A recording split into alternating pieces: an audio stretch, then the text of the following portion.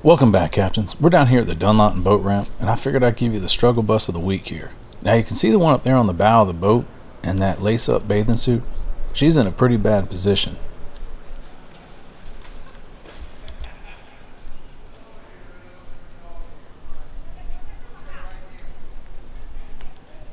And look at that, there's a rocket launch today, 10 a.m.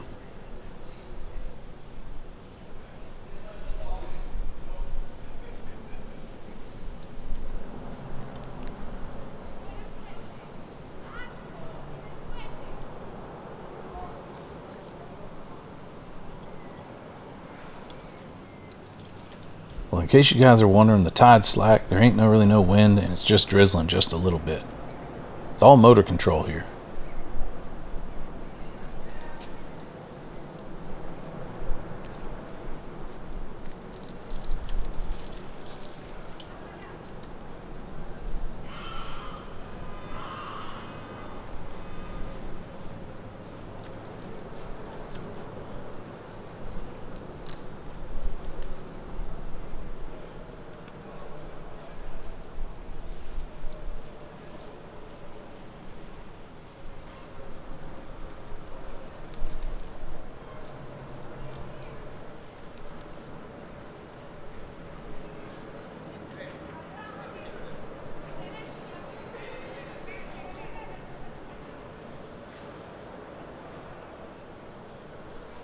Well, there's the handoff. You'd think that'd be it, but hey. This is Credit Card Captain. Now, I talked to the owner of the boat, and in fact, he does have a hole in the pontoon now, and he's got to get that welded.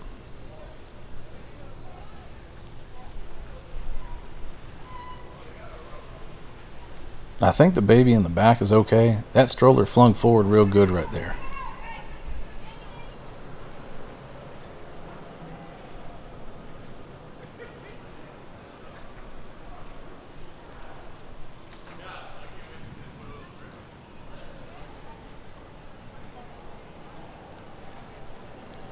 Now, I don't understand this line over here. Watch this guy in the green shorts.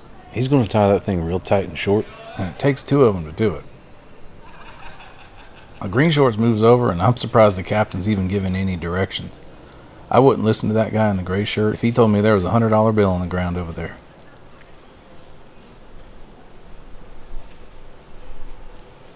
Now, guy in the black shorts over there spins that line around there about eight, ten times on that cleat. And she comes over and undoes everything he did.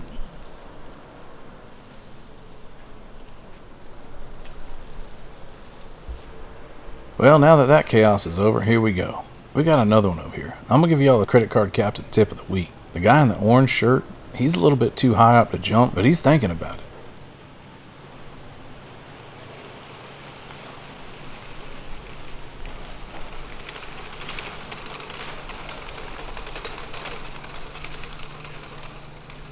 Now right there is one of those dangerous jumps that you could have. You hold that line too short, you jump off the boat, and it'll snatch you right back head first back into that water.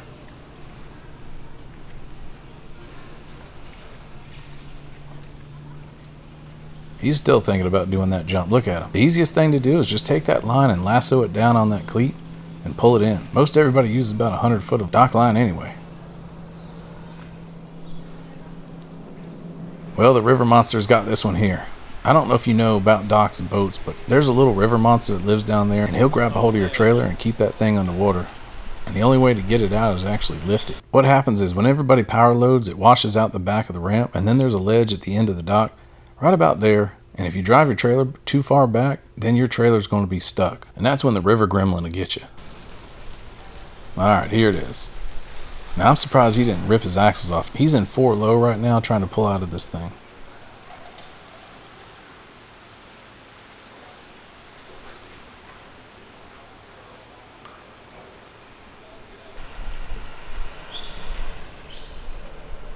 Wait till you see the pontoon boat that that thing goes on. Everybody hops into play to see what they can do to come out here and help them out. Lynn's wants Dylan. Wait, so what happened? It's just it fell off the ledge. And like I said, the easiest thing to do is just lift this thing off the ledge over there and he can then pull out. This is a triple axle. About three weeks ago, someone did this same thing. They didn't have anybody help them lift it up, and they broke their axle right off.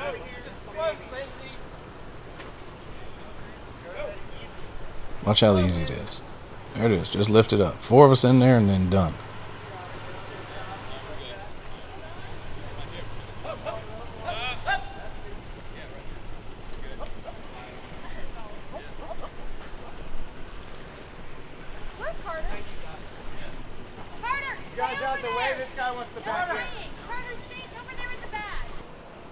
Now look at that pontoon boat. I reckon that thing's got about 120k into it.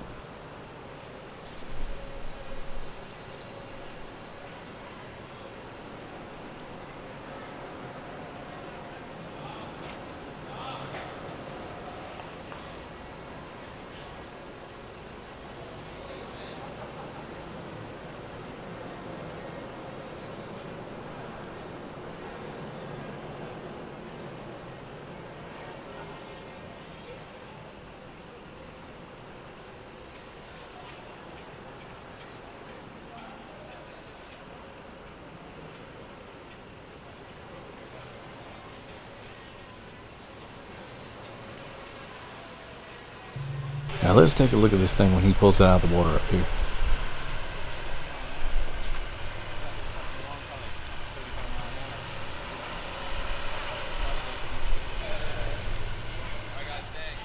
I tell you what, I can't believe I'm looking at about what a house used to cost. Not 100k for that truck, 120k for that boat right there. That is, yeah. When they saw him backing in, I was like, damn, that's a long ass boat. Oh, you saw him backing in this morning? No, like right here now. Just Oh. 450s. Twin 450s. uh, he was.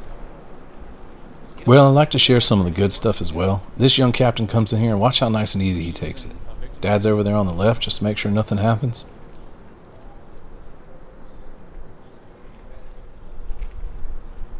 He's like, hey, you know what you're going through? Yeah, man, it's he's married to it. He's trying to.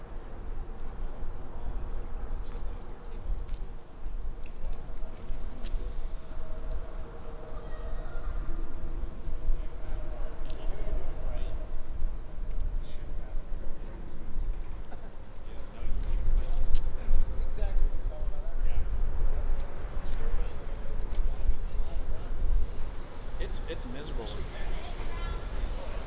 Cuts the engine over, throws it in reverse, and look at that. That's how it's supposed to be done.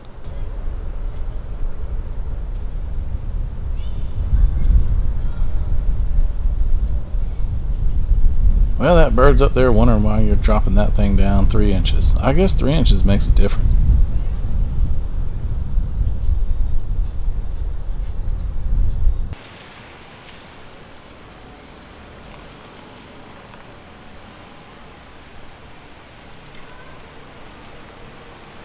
Well, this confused captain thought he was going to come over here and just skip the line.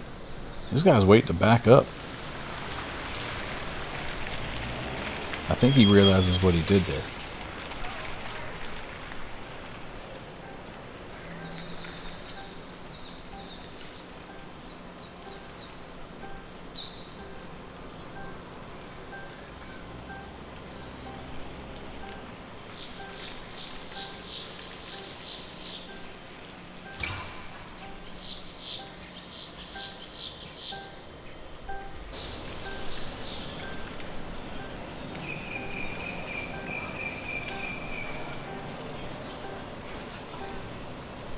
Nice, clean, straight back in right there. Yellow boat in the background drops someone off to go get the trailer, and they go into holding position.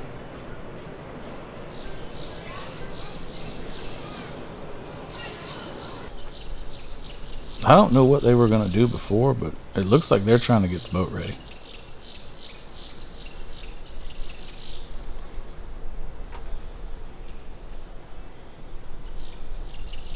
Well, the storm's been rolling in every day out here at the boat ramp.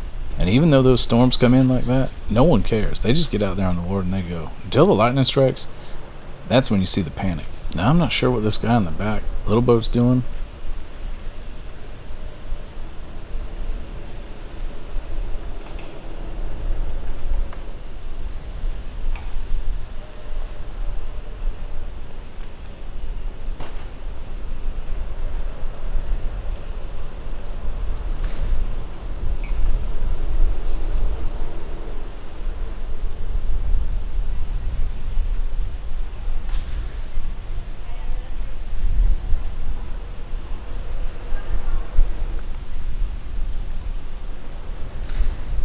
The guy in the jet ski's wondering too.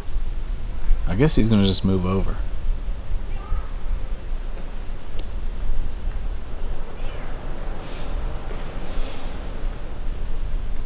There's never any consideration down here.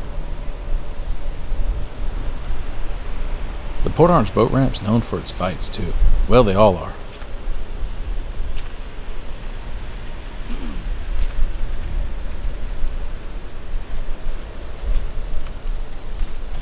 So the guy with the personal watercraft, he changes up the position here and slides this thing down while the other guy blocks the ramp.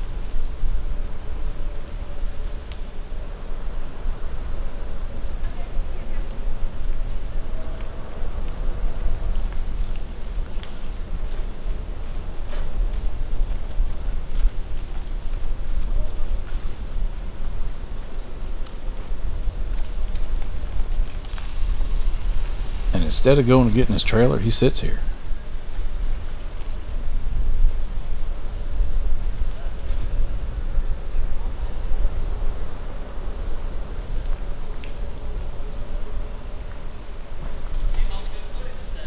It's all right. I don't know. Some people are a little bit nicer than I am. I would have just backed it in and made them move.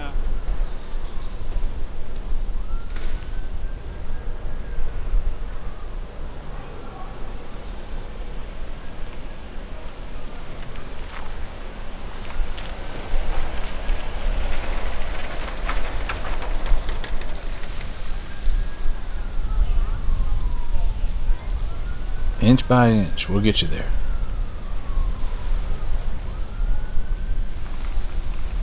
Well, the personal watercraft guys, they get themselves in the water here. That guy's still blocking the ramp on the right, and that's what you do when you're a credit card captain. Thankfully, because the weather today, it's not too busy. So this one might be able to slide. But the guy on the jet ski starts riding the bull. Everybody watches him, see how long he can hold on for. Now, I told you, y'all can get some of that bunk lube that's in the description. And if it's too much money for you, I'll have the spit on it version coming in soon.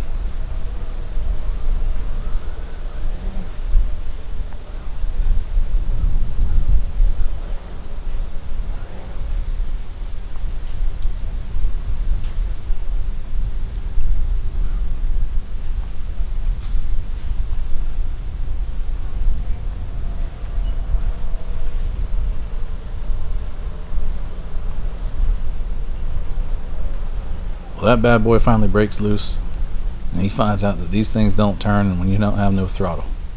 Yeah, a little beach in there don't hurt nothing. Spray paint it when you get home.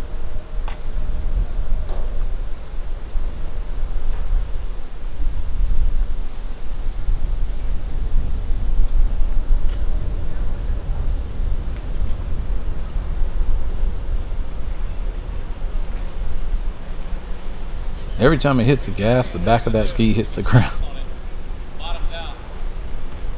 I mean, he is going to get wet today. I would have just pushed it out manually and got on it just like I did if I fell off. Oh well. Well, after the end of the day here, I decided to take the boat out and see what happened here. It was a busy weekend, and I found these two guys over here stuck on the shoal. Now, there's nothing I could do. My boat's smaller than that one, and if I get over there, I'm going to be stuck too. It's real shallow. So the only thing they got to do is wait for the tide. Now, I know that boat's got some electronics on it. It probably has some depth finder and all that other stuff. But they enjoyed a sunset for about another four and a half, five hours, and I'll see you guys again soon.